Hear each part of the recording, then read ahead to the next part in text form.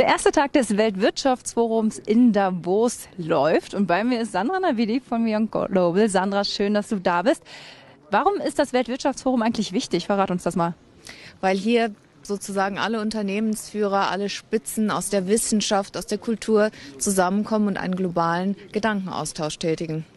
Trotzdem könnte man ja sagen, dass das Weltwirtschaftsforum auch ein bisschen Spagat schaffen muss, um auch die in Anführungszeichen normale Bevölkerung einzubinden. Wie funktioniert das?